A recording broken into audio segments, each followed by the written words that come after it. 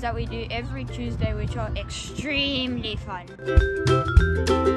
Turf Tuesday is a thing in Glenoaks where every Tuesday we get to do fun. Terrific Tuesday is a day where we have fun and we get to do fun things that we never get a chance to do. We did pottery, we did knots, which we're doing right now, Okay. and we've done tie-dye shirts. You do like fun things like art and sports and other creative things.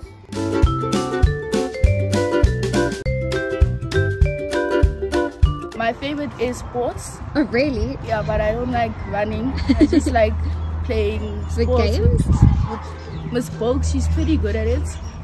I And agree. yeah, I enjoy spending time with my friends instead of doing work. Favorite activity that we have done so far has got to be drumming, huh?